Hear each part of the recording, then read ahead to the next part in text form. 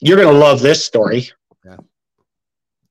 Um, Mike owed me a favor, Mike Milbury. Yeah, big favor. Right. So I had a good relationship with Mike. So Mike, when he's with the Islanders, Spano, remember when John Spano was there? Sure. Spano was basically taking over the team and, and he didn't like Mike. Oh. Okay. So he didn't like Mike. And as soon as he took over, he made Mike was GM coach. He's made Mike step down as coach. Rick Bowness became the coach and Mike became the GM. Well, Spano was going to blackmail Mike. Oh. Yeah. So I knew these couple girls that were a little risque. This one girl, Lee, she tells me she's sleeping with Spano. And I'm like, really? And she goes, yeah. She goes, I'm at all your games, right? You- Am I okay to talk about this? Yes, absolutely. Yes, keep going. This That's is good. kind of some juicy stuff, man. I like. We love it. So, what's that? we love it. Keep going. Yeah. Keep So going. then, so then Spano, so I'm like going, she tells me that sh- they, they got the Garden City Hotel. Spano's got it all set up and he's going to get Mike on tape and then he's going to get rid of him because he had just signed a five year deal. So Mike Milbury's got another. He's got an affair going on, and Spano's got an affair going on. No, well, he, Mike might have had his on, but this is what these girls are. No, these girl, the girl Lee was with John Oh, okay. Spano. Right. She's telling me her and her friend Jennifer, who I know both, they're kind of going to put on a little bit of a show and then uh, hopefully get Mike with his hands in the cookie jar, basically. Oh, oh, probably okay. right. Oh, okay. So I tell Mike just off the cuff at the rink. I say, Mike, I said, I don't know what's going on with you and Spano, but I'm like, if you're ever around these girls, Lee and Jen, just be careful. Right. That's all I This is- tell. This is back when you're playing with the Islanders. Yeah. So he owes you this favor now. Mike Milbury does. Well, yeah, because what happened was all of a sudden the trade deadline's coming on, and fucking all of a sudden he calls me in. I'm on the ice, and Bowness is like, Mike wants to see you. I'm like, for what? Right. He goes, you take off your skates and go to his office. I'm like, the whole way, I'm like, does he know about this? Does he know about that? I'm trying to figure out what I did wrong, right? Right.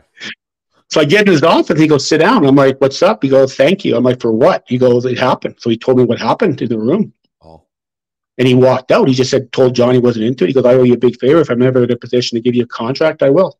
That kind of was it oh wow. moved on. Now, fast forward to two years not playing hockey. Yeah. My agent calls me. He goes, There's about five teams interested in signing you. Florida Panthers being one, right? And then the Islanders. Is that right? Yeah. So that so I agreed to sign with Florida. With Florida, I was making 900 one way, Right. and right at the end of my career, really, which was still pretty good, right? Yeah, definitely. Now, are you totally cleaned up now? You're off the drinking. Yeah. Well, yeah, but no, I'm not. Here's the thing. I, I cleaned my act up for the summer to get into shape, right? To get back into playing shape. Right. Did all that, worked hard, got myself back into game shape and or playing shape. Then I had to go back into the substance abuse program, and I didn't Oh. know.